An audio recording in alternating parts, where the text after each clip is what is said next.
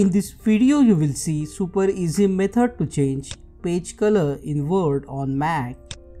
In Microsoft Word, if you want to change the page color, then what you need to do is just go to the design tab and under the design tab you will see here the page color option. Just click on the drop down and now you can select the single color here and if you don't want to and if you want to remove the color just select the option no color.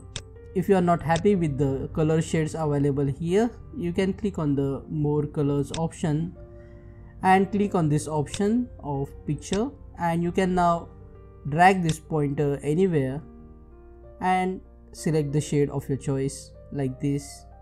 And after selecting the shade just click on ok now check out this video that will show you how to add multiple color pages in Word on Mac. If this video solved your problem, click on that like button, comment below and let me know.